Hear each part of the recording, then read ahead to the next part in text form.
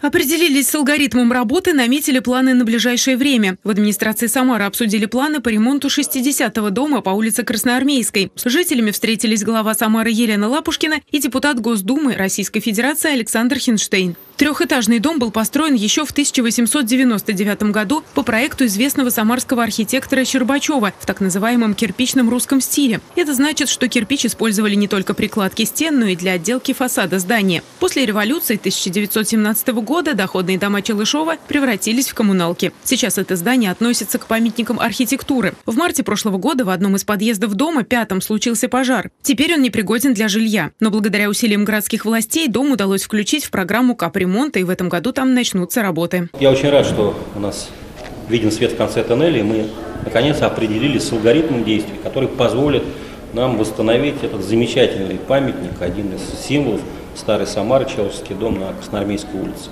Сегодня мы проговорили последовательность действий.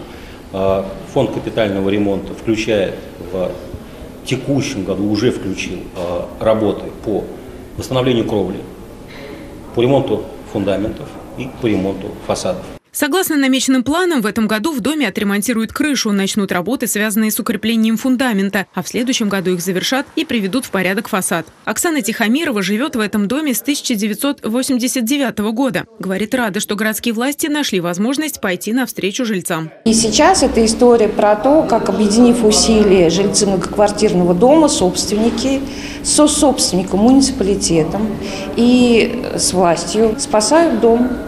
Ну и, собственно говоря, спасают самих себя. Я убедилась, что у нас все будет хорошо, хотя работы будет очень много. Все работы по адресу Красноармейская, 60 планируют завершить к 2025 году. Виктория Шарая, Константин Головин. События.